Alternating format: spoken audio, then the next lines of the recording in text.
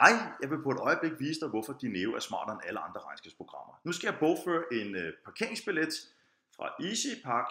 Jeg begynder at skrive parkering, og der kommer lige parkering frem der. Jeg vælger øh, beløbet, eller skriver beløbet, 71 kroner og 40 øre. Der er nogle forskellige scenarier her. For eksempel, du har parkeret din bil på gule plader. Ej, jeg har ikke gule plader. Du har parkeret din bil på hvide plader i forbindelse med et forretningsmøde. Det er jo faktisk lige præcis det, jeg har. Så den vælger jeg og den viser så, at jeg ikke kan trække momsen fra. Havde du noget af en bil på gule plader, jeg trykker her, ja, så kunne jeg have trukket momsen fra. Men jeg har en bil på hvide plader, så der er ikke så meget at gøre ved det. Ergo, Dineo ved faktisk, hvordan momsreglerne er.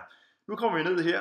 Den siger, at det er diverse transportomkostninger uden moms. Det vil sige, at den vælger også den rette konto. Havde jeg valgt den gule, så er der parkeret en gulpladebil. Så på den måde ved Dineo altså også, hvor du, den skal hen i, øh, hvor den skal hen på hvilken konto. Nu så er der kun én ting tilbage at gøre, det er at trykke godkendt, og det hele er bogført. Jeg ved ikke en klap, men det gør Dineo. Kan du have det rigtig godt.